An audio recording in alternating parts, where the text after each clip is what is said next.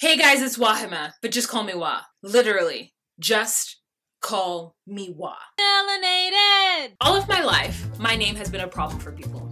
Wahima. Wahima. Wahima. That's hard. Wahima. Wahima. Wah. Sounds pretty easy, just rolls off the tongue in my personal opinion. Wahi. Wahi. Girl, you got a nickname. I don't have a nickname. Most people's parents call them something cute. My parents never have called me anything cute. I have always been Wahima. One entire side of my family just completely says my name wrong. Wahima. All my life. The worst is substitute teachers. Mary Smith? Chad Bozeman?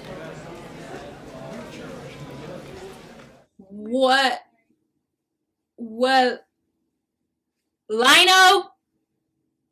People who feel like my name is just too much for their tongue to handle. Wahima, Wahima, Wah, Wama, Wama. I have name anxiety. I don't want to tell people what my name is because I don't want them to ask me questions about it. I don't want them to say it wrong. That is really pretty. Is it Hawaiian? It sounds Hawaiian. No, it's not Hawaiian. Wahimawe, Wahimawe, Wahimawe, Wahim. Huakuana. That sounds Hawaiian to me. Sometimes I think people think they're doing you a service by asking you about your name. Like they feel that you're gonna think, oh, this person is so intuitive and so nice and just wants to know about my name and they're a learned individual who cares about my ethnic heritage. Wahima? That sound African. Where you from? Wahimawe, Wahimawe, Wahimawe, Wahimawe.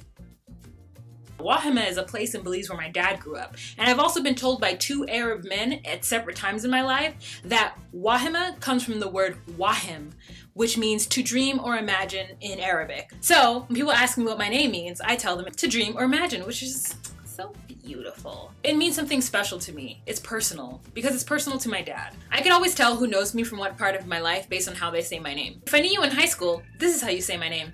Wahima. Wahima. If I knew you in college, this is how you say my name. Wahima. If I knew you after college, this is how you say my name.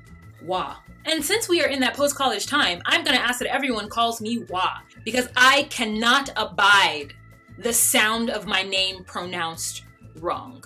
It grates my eardrums. It feels like someone is like doing this against my ear and I don't like that feeling or that sound. So how Wah came about. When I was working for Starbucks, I had a coworker named Sheena who was just like, no, I'm calling you Wah. I can't do it. I'm calling you Wah. This is your nickname. I was very mad at her for like a month and she continued to call me Wah. And everyone started calling me Wah and I just kind of took over. And then I realized that it was just so much easier to have people call me Wah. People can say Wah, but I still get called Woo and Way. What she say her name was? Way? Don't know why. I say Wah like water. Woo? I know what a woo looks like. A woo doesn't look like me. Wahima. That is really pretty. I wish I had a cool name. My name's just Sarah. That's so boring. No, you don't, Sarah. Why? I don't know how to say this. Wahima. Wah. Wahima? How dare you be offended because somebody wants you to pronounce their name correctly? Most people won't be able to say it right. So, just bloody call me Wah. Wahima. Wahima. Oh, what? Wahima. Wahima. What'd you say your name was? Wahima? Or just call me Wah. I'm sorry, what'd you say your name was? Way? Wahima way, Wahima way, Wahima way, Wahima. Alright guys, thank you so much for watching this video. If you've had the same or similar experience with your name, please leave a comment down below and let me know what your name is. Phonetically spell it so that we can all get it right. Alright, remember to be you, be true, and find your place. Bye!